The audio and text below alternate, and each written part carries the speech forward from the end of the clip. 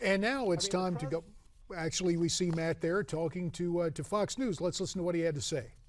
I mean, the president uh, has uh, boldly said that he has a pen and a phone. He needs to pick up the gosh darn phone and do something positive with it to get this young man out. And again, the amazing thing, Matt telling us just moments ago here on America's Forum, when his legislative director called the White House yesterday about the internet petition at whitehouse.gov, uh, getting more than 100,000 signatures, the White House hung up on the legislative director of Congressman Matt Salmon. Now, let's go in depth. The top story this hour the primary elections taking place in eight states today, including Alabama, California, Iowa, Mississippi, Montana, New Jersey, New Mexico, and South Dakota. Here to join us now, taking a closer look at a few of the high profile races, Matt Towery from Insider Advantage. Matt, as always, we appreciate your time here on America's Forum. Oh, thanks so much. Hello, Matt. I'm sorry I'm having a little trouble. Uh, do we have Matt? Hi, Matt. Uh, forgive me. Hi, can you hear me? I can hear you now, and I apologize to you Great. if I left your uh, your salutation not responded to. Let's talk about some of those hotly contested races in those eight states. The establishment candidates against the Tea Party, well, not exactly. Uh, in Iowa, it's kind of curious when you take a look at Joni Ernst, Hog Wild, uh, Sarah Palin identifying with the Tea Party, Mitt Romney, Marco Rubio with the establishment. Her TV ad about castrating hogs on a hog farm, cutting out pork, has gotten a lot of buzz. Let's again take a listen to that famous and or infamous ad. I'm Joni Ernst. I grew up castrating hogs on an Iowa farm. So when I get to Washington, I'll know how to cut pork. Joni Ernst, mother, soldier, conservative. My parents taught us to live within our means. It's time to force Washington to do the same. To cut wasteful spending, repeal Obamacare, and balance the budget. I'm Joni Ernst, and I approve this message because Washington's full of big spenders.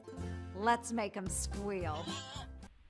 Well, there it is. So, so the bottom line, Matt, you, you, the ad has created a splash. She's got support from Tea Party champions and the establishment. Can she pull off that primary? We saw briefly the field of candidates on the Republican ballot. I believe she has to have what 35% margin to avoid a runoff. Right. W- will that happen for her tonight in the Hawkeye State? Well, we're going to be watching Iowa and Mississippi, which we'll talk about in a moment, I'm sure, uh, because in both cases, the candidates need to get the magic numbers. In her case, she has to get 35% plus one vote. And if she does so, then she becomes a nominee. If not, this defaults to a, a GOP state convention. And uh, you and I have both been down that road before. We know what those things can be like. Anything could happen. So you do have a very unusual um, mixture of the alleged establishment, alleged Tea Party, whatever they are, and, and they morphed into today. They're pretty much of the same uh, mind set, and that is they want to take the Senate. And so all of these groups from Mitt Romney, more establishment like Marco Rubio, more establishment like, all the way to Sarah Palin, who's been backing primarily sort of Tea Party esque candidates, they're all pushing one candidate, and that's the woman who says that she can castrate pigs and she can go up and take care of Washington, D.C. Well, she seems to have, Matt, all the uh, qualities that unify or galvanize at least all wings of the GOP party here. Let's play some sound bites that we have prepared from some of the folks, including Romney and Palin and Rubio, who have been out there in Iowa campaigning on Joni Ernst's behalf. Let's play that clip. Oh gosh, no. We're just look. I just want to spend the next two years of my service in the Senate in a Republican majority with special candidates like like Joni Ernst. I mean. All right, there's the clip from Rubio, and you know we saw Rubio there. We've seen Palin there as well. We've also seen uh, Mitt Romney there. But Matt, are they really there campaigning on Joni Ernst's behalf, or is this because we're talking about Iowa here, the site of the First in the Nation caucus, and there could be potential political benefits for these candidates visiting the state of Iowa? Well, certainly in the case of Rubio, I don't think there's any question there's political benefit. As far as Mitt Romney, heavens, I hope not, because that uh, that that vote would not uh, would not sail. Uh, that having been said, I, I just think that the the secondary uh, motive, which is probably really the overriding motive, is the Republicans see a few states being critical to them being able to take control of the Senate, Iowa being one of them. And, and this also gives them an opportunity to all combat this concept of the war against women, which allegedly the Republican Party has been engaged in for years. And admittedly, we saw in, in another round of primaries just a few weeks ago, women did not fare particularly well in Republican primaries. So they need one that shows a powerful woman emerging as a nominee and winning a nomination. And so they're they're putting all the power of every wing of the Republican Party behind her effort. Matt, our viewers got a glimpse of what we want to talk about now. Let's move along to Mississippi. The headline at our parent website, uh, Newsmax.com, talks about this being the meanest primary. You've got longtime incumbent United States Senator Thad Cochran versus State Senator Chris McDaniel. The polls, as we understand it, basically have moved to a to a dead heat. And you'll recall a couple of weeks ago, one of the reasons they're calling this the meanest primary, a, a blogger, a self-identified McDaniel supporter, snuck into the assisted living facility where Thad Cochran's wife uh, is now a patient with advanced Alzheimer's. Uh, and we see the picture of the blogger being arraigned in a Mississippi courtroom here these kind of outside distractions, and I don't know if the Cochran campaign has gone after McDaniel saying you had to know this guy was for you. Has this become a sidelight that will help the incumbent, or does McDaniel have enough passion and energy on his side to uh, to overcome the longtime incumbent Thad Cochran? Well, uh, let's address a couple of things uh, in order. The first, the polls.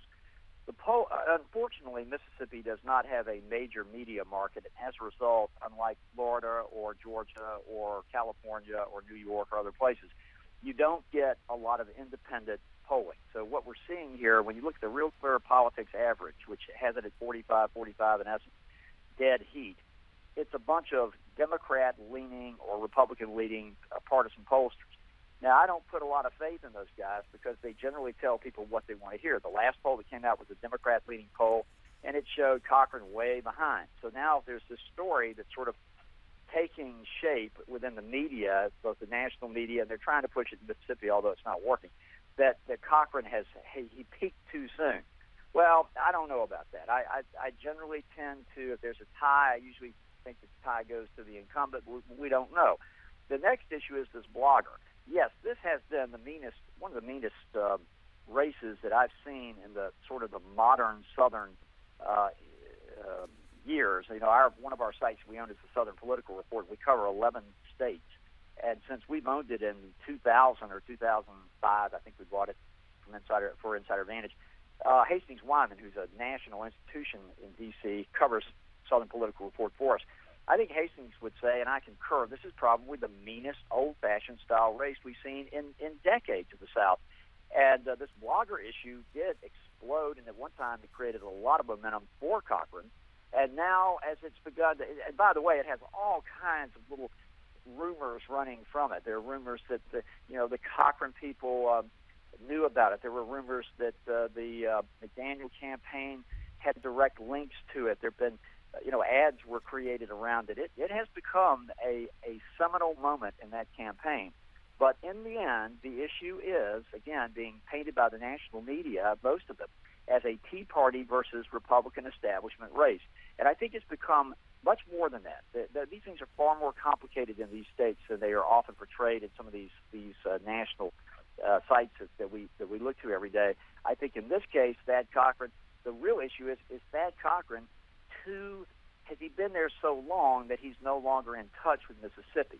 I personally don't think so, but I think the Mississippi voters are going to decide that tonight. So you're telling us Chris McDaniel, if you're going to look at the upset special tonight, it's the state senator McDaniel over Thad Cochran.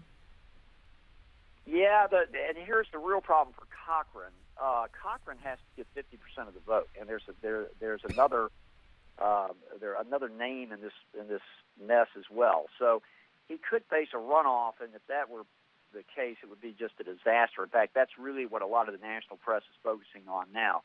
So, you know, I, we'll keep that in mind in terms of the runoff. Uh, one other state yeah. we need to talk about, Matt, and that's way yes, out sir. west, California, a few years back adopting the jungle primary. Now, obviously Jerry Brown uncontested uh, for the Democrat nomination. When we say jungle primary, that means regardless of party, the top two candidates in the primary would move ahead. Uh, it's a moot point. The Republicans will have a nominee, but who is going to be that nominee out in California, Matt, for governor? Boy, that's that, that's a great question, and, and none of us know the answer to that right now. They are they are locked in. Uh, well, of course, I mean, we, we all know that, that Jerry Brown is is probably and certainly going to emerge as the as the winner of as governor for the for his fourth term. I mean, California has just become inextricably Democrat. So, in that sense, it, it, really doesn't make a whole lot of difference. But we don't know who is uh, going to be in second place. That's been a that, the the jungle primary. And by the way, the polling out there is very hard to do as well because uh, much like Florida, uh, California is is, is a, a sort of incorporation of of nations you have the nation of North Northern California, very liberal. You have San Francisco, very liberal. You get down to the south, close to San Diego, and some of those areas gets more conservative. And obviously, Orange County was sort of the, the center point of all of that uh, in the past. But it's very hard to poll in California when you're Fair enough. I guess what we'll find candidates. out tonight, Matt Towery, is the votes will be counted for the honor of challenging entrenched incumbent Democrat Jerry Brown. We'll keep our eye on that. Matt Towery, as always, we appreciate your wisdom and experience. We'll see what happens in Mississippi and Iowa. Have you back real soon. Speaking of coming back, that's what we're going to do following this break here on America's Forum.